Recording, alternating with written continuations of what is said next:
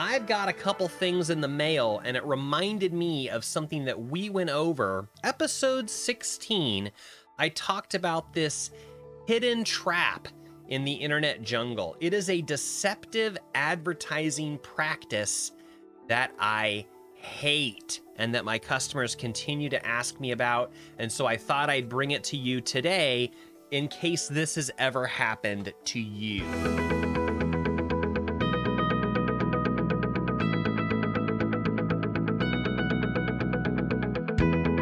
Ever gotten one of these in the mail? They look a little different. This one's from Domain Registry and it, says domain name expiration notice. And then we also have the domain listings website listing service. Now, these are different. They say they're for different things, but the general idea behind them is the same. And that is this I believe that they are preying on people's ignorance. The fact that you're a busy business owner and you're paying attention to your business and you're doing the best you can. And when you get something like this in the mail, it kind of looks like an invoice. And so chances are you're just going to fill out your check and send it in because it has something to do with the website, something to do with the domain name. And of course, you know that's vaguely important for your business. So you're just going to pay it and not worry about it. But here's what I'm here to tell you be cautious. I believe these companies right here are trying to steal your money and steal your business, and they have no right to do this. So, let me tell you about what this is. You'll be able to see much more clearly these papers in episode 16. It's not showing up real clearly here for you right now, but I've got great screenshots that I can show you in that episode. But basically, it works like this these companies are sending you what looks like an invoice, and uh, this one is the most.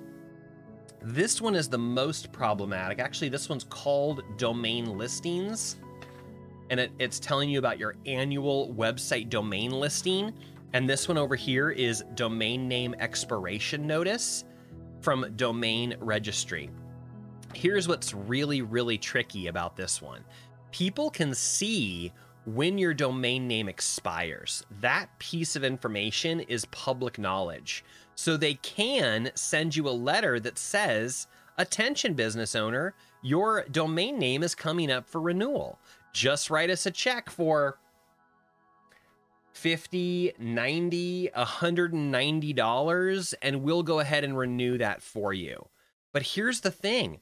They are not your domain name registrar. In other words they have no business sending you what looks like an invoice but they're preying on your lack of knowledge lack of understanding lack of awareness in this particular you know genre of topic that you're just going to pay the bill. That's what they're doing. They're hoping that this is going to come in the mail, looks like an invoice, you're going to send out the check, boom, boom, boom. And you don't have a web geek that you can ask and say, hey, is this legitimate?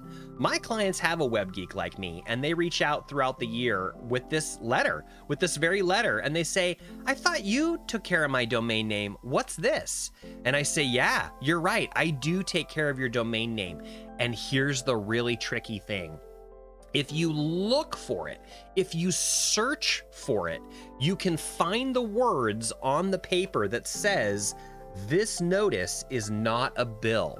These people have the gall to say, This notice is not a bill. It is rather an easy means of payment should you decide to switch your domain name registration to domain registry. I think that's deceptive, and I think it's a terrible practice. And I think that it makes it look like they're offering to renew your domain name, like they're the ones that have the business to do that, and they don't. They're just looking to steal your business. If you pay them, you're giving them the rights to steal the domain name away from wherever you have it currently registered. I don't think that's a good business practice. I'm not in favor of that at all.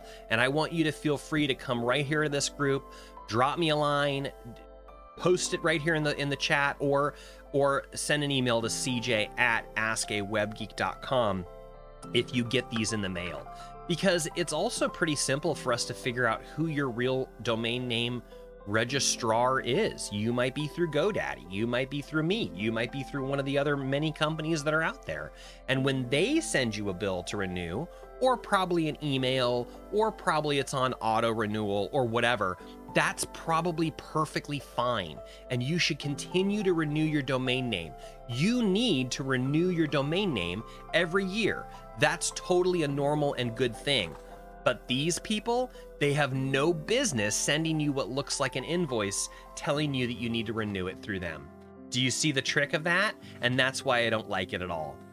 This one right here is another level completely because they're not even talking about your domain name renewal. They're talking about something they call a website listing service. An annual website domain listing on Internet Directory. Can I tell you what that means? They have created their own directory and they want to charge you $300 to appear on their directory. But you may not know that that's what it says because when you get it, it just looks like an invoice and it's got your domain name in big bold print right up here at the top. It says gilbertstudios.com.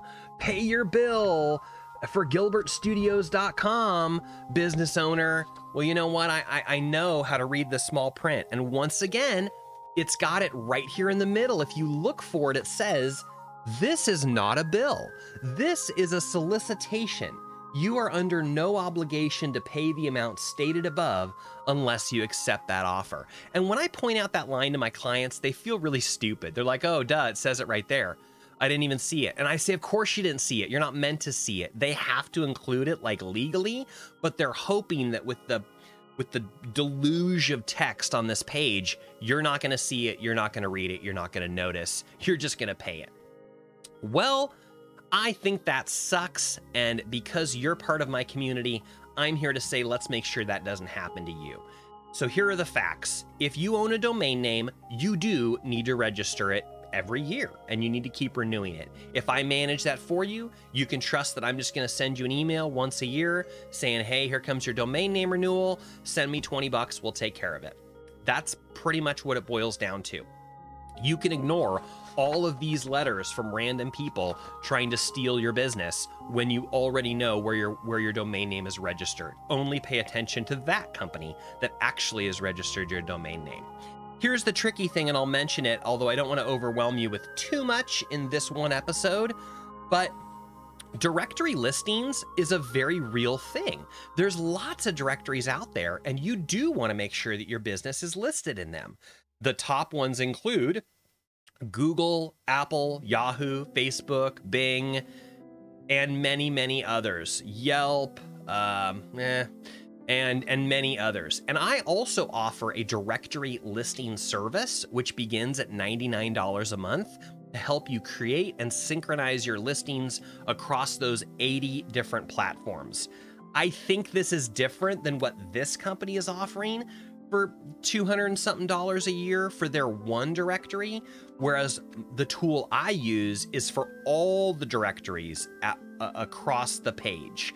So let me know if you have any questions with that. I do have a free resource that you can uh, run a scan tool to check out your listings. It's scan.gilbertstudios.com, S C A N, S C A N, scan.gilbertstudios.com. You can use that. It's a free tool and you can find out where your website and business is listed in those directories. And then, if you want my help, if you want my service to fix it, correct it, synchronize it, of course, we can talk about that. That's my message for you today, and I invite your follow up questions. Let me know. I will review whatever comments come in after this video. I will look for your comments in the group. Please ask your questions. Please let me know how I can help you further. And be on the lookout for these kinds of papers that pretend like they're legitimate invoices, but they are not. And look for those magic words that's written there somewhere. This is not a bill tricky, tricky, tricky. And I don't like that at all. So I'm glad that you're with me. I'm glad that you're part of our community. That's not going to happen to you because now you know better. And now you're going to be able to tell someone else that this is a thing that can happen and invite them here to our community so that together we can keep uh, we can keep helping each other out. You know, I know what I know. I'm an expert on websites and I understand how domain names work and hosting and all the things that are associated to it, but I have to turn to other experts to help me with other things. I am not a car guy. I am not a mechanic. And so I I turn to my trusted mechanic Sergio whenever I need something fixed or upgraded. In fact, I'm going to send him a text as soon as I'm done with this because it's time to get some service on my minivan. So I'm going to call him right after this uh, because he's the expert I turn to when I need help with something that's a little bit outside my zone or you may not even have time to take care of something like this, but you know that there's someone else who can. So I, I, say that to let you know don't feel bad about the stuff you don't understand.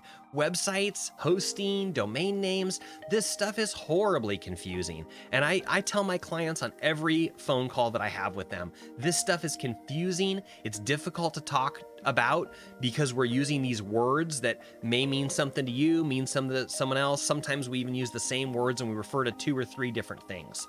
It's very confusing. In fact, I have an episode where I talk about the differences in hosting and domain names. Episode 20 is uh, an episode where I talk about domain names, website hosting, email, and how they all fit together. I, I say that this is uh, three pieces of a confusing puzzle. So, those are a couple resources for you to check out. Episode 20, I go into more detail on that, and I do refer back to episode 16, which I mentioned a few minutes ago, about this domain name trap that I was just telling you about. Let me know if any of those resources help you. Let me know if you have any questions about anything else going on in your business.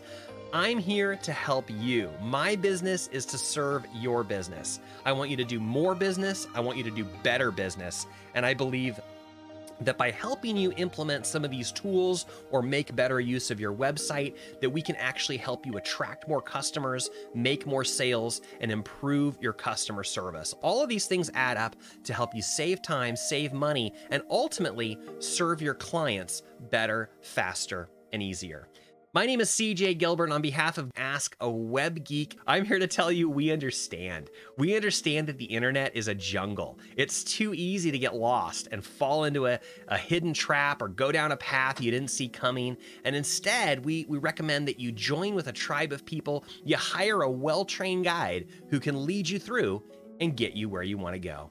Hope you have a wonderful, wonderful week. Make it a great Wednesday. Make it a great week. And please ask me any questions. I'm here to help you all week long.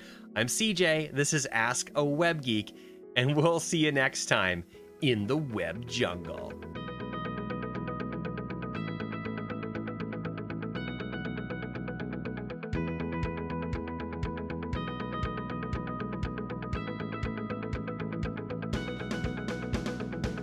You just kind of kind of have to trust that it's working right. The dials are moving the way the dials are supposed to move, so hopefully that's going to give us all the right information. So, do you like my cool lighting effects that I got going on today? I've got some new lights in the web cave. So, I've got I'm playing with some stuff here in the background. Let me know how you like that. The internet's a jungle. We'll see you next time. Bye for now.